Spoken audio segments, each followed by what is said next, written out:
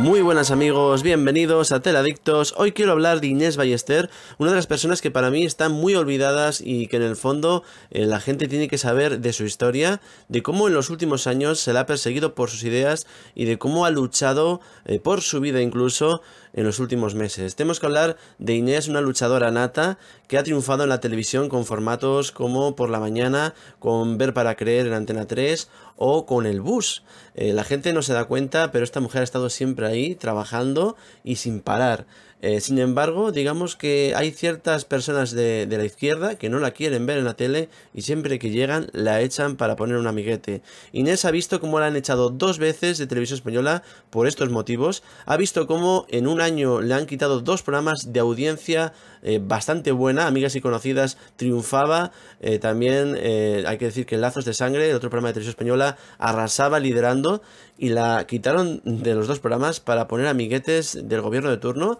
En el programa de Lazos pusieron a Boris, que era una cosa incomprensible, un programa que lideraba con cuotas del 25% para poner a alguien que nunca había funcionado en la tele pública. Y luego Amigas y Conocidas se quitó por programas que nunca han funcionado y que nunca han llegado los datos de la propia Inés, ¿no?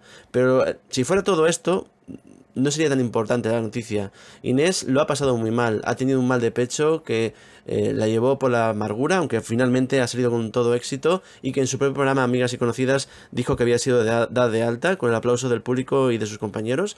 Y luego también eh, tuvo la mala suerte de caer en el bicho, estando muy mal durante 21 días, eh, diciendo que lo pasó fatal esos días de ingreso y que finalmente todo salió bien, ¿no? hay que decir que Inés lo ha recordado ahora que cumplimos el aniversario de todo lo que nos ha pasado, que mucha gente no quiere recordarlo, pero que conviene hacerlo para que sobre todo tengamos respeto al bicho, ¿no?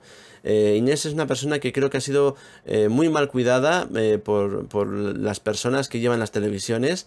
Creo que es una profesional nata, la, la, ha tenido el gusto de conocer y es una grandísima persona y se merece todo lo mejor. Ahora está triunfando en Telemadrid con el magazine vespertino Está Pasando, que está consiguiendo muy buenos datos en la autonómica madrileña y le deseamos lo mejor, de verdad, con todo lo que ha vivido, con todo lo que ha pasado y ahí está todavía luchando.